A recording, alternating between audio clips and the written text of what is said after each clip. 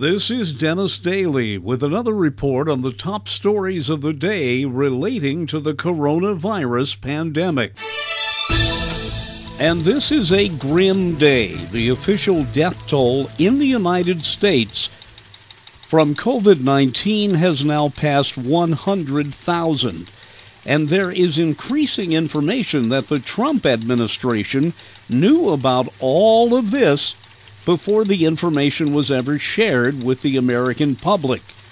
Additionally, the president has now made fun of Joe Biden and his wife for wearing masks during ceremonies to mark Memorial Day.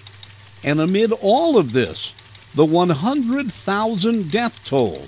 President Trump told the media today, Aren't I doing a good job?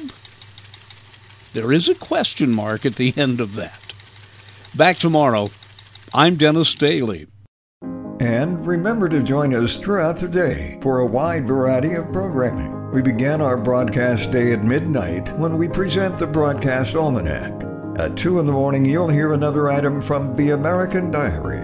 And the good works of a special honoree is presented at 5 a.m. on the Saint of the Day. Then at 7 a.m., we go back into the archives to hear what it sounded like eight years ago today.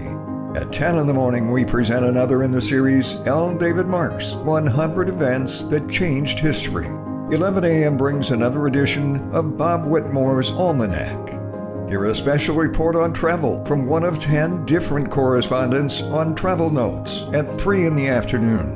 Then Dennis Daily presents his interesting commentary on the passing scene on Nightcast at 9 p.m. And at 10 p.m., another coronavirus update.